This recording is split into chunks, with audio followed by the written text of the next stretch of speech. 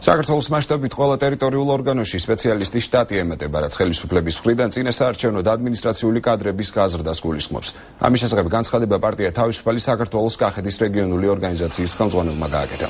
გიორგი მოსიაშვილის განმარტებით საჯარო ორგანოებში კადრების დამატება წინაკვირაში დაიწყო, რომელიც მიზნად ისახავს არჩევნებში საჯარო მოხელეების მასიურ ჩართვას.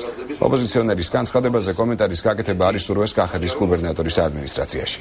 დასჭირდა სასწრაფო ხელისუფლებას. თან ეს იმ პირობებში, როდესაც ამდენი სტიკიდე ხელისუფლებამ არჩევნებამდე ორი თვით ადრე მიიღო გადაწყვეტილება, რომ ყველა ტერიტორიულ ორგანოში ადმინისტრაცია გაეზარდა შტატები, ასე ვთქვა, ტერიტორიულ ორგანოს დაუმატა თითო-თითო შტატი. უდემენ ხელშეკრულებას 6 თვის ვადით, ეს არიან ასაკობრივი ზღვარი აქ ძალიან მნიშვნელოვანი, როდესაც 30 წლამდე ასაკის ასაკის ადამიანებს იღებენ. მათი დავალება ზეპირი დირექტივა აქვს მიცემული, რომ მოუყარონ ახალგაზრდებს თავი და გამოიყენონ ნაციონალური მოძრაობის სასარგებლოდ.